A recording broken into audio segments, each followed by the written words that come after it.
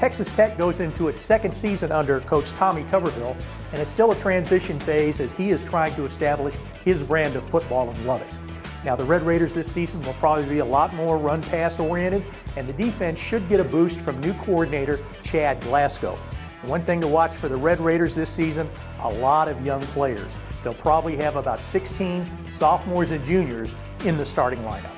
Yeah, you know, when you take over a program and you're putting implementing all the things that you want to put in, it's like growing a tree. It's not going. You can water it all you want. It ain't going to grow very fast. Same thing with a football team.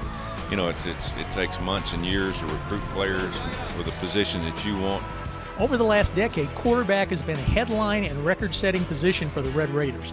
Seth Doege, who because of injuries in high school and Texas Tech's quarterback depth has played in just one game since 2005, takes over as a starter pretty excited. Know, I can't wait. You know, I think we've done a, we've had a good fall camp so far. Uh, we got a couple days left. We really need to, you know, uh, sharpen some things up. But overall, I'm really excited about this team. I'm excited about the opportunity. He's a true competitor. I mean, he goes out there and works hard every day. He's a film buff. He's always in there trying to learn as much as he can. He brings a sense of leadership because everyone wants to follow his competitiveness, and that's really just something that uh, he's kind of um, really just excelled in throughout the summer and throughout camp, and it, it really um, uplifts everybody else on the team to do the same thing. Well, he's a he's a coach's son, hard worker. He's a student of the game. You know, I'd call him a gym rat. He uh, he's really put in a lot of work, and he's, he's he's played some. You know, a year ago in the spring, uh, two guys that competed last year for the job, Taylor Potts and Steven Sheffield, both got injured. So he was, and they got injured practice five and six. We got to go through our system, and as the starting quarterback for about nine practices. Then, then he had all spring. So we feel like he's got enough seasoning to go in and be able to produce.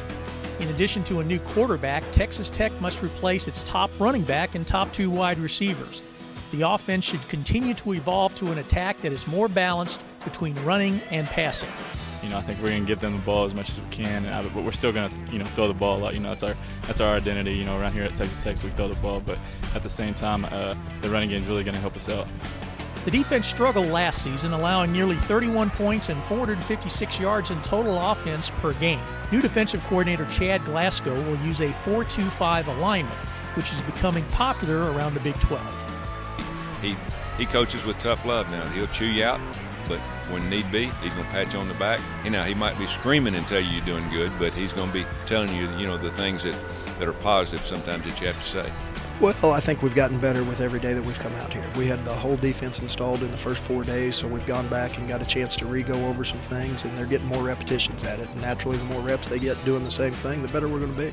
In addition to the new defensive scheme and intensity, Glasgow has coined a new motto for the defense. Uh, the motto is hunt together to be like a, a, pack. You know what I mean? So it's like Coach Glasgow also always talks about do your 111th and do your job. So it's like if all 11 guys on the field do their job, basically when they have a good defense, we're going to be successful. So basically we got to hunt together. So that means 11 guys flying to the ball each and every play, but we, we play for each other, don't play for ourselves. Big12Sports.com, I'm Wendell Barnhouse.